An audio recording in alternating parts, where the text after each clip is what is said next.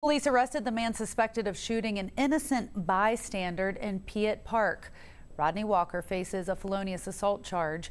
Police say someone punched Walker in the park back on August 16th.